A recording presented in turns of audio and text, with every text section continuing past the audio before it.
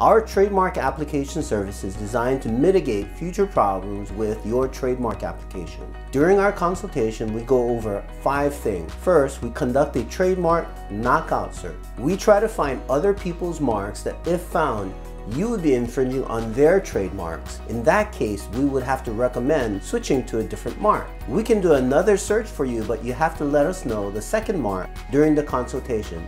So come prepared with two marks. Second, we explain the pros and cons of various ways to own the trademark registration. You can own it personally, a corporation can own it, partners can own it. Third, we cover the pros and cons of filing the mark either as a design mark or a standard character mark. Also, if you have various slogans, marks, and designs, we prioritize which ones should be filed first. Fourth, we craft a goods and services description for your brand. Fifth, we spot check various issues such as whether the mark is descriptive or suggestive, whether there are foreign language equivalents, among other issues. The steps that I take are designed to help reduce problems in the future with your trademark application. My name is James Yang. I've been helping inventors and businesses protect their ideas since 2004. I'm confident I can help you. Call me at 949 433 to schedule your consultation.